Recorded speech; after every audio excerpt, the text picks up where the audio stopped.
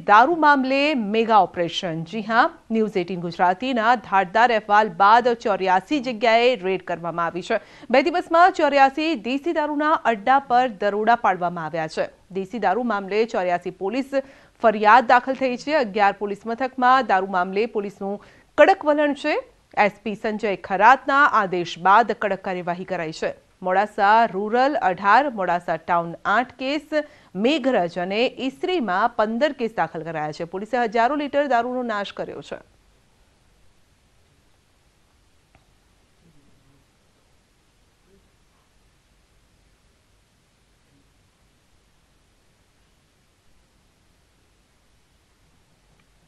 મોરબીના વિશીપરામાં કાઉન્સિલરનો અનોખો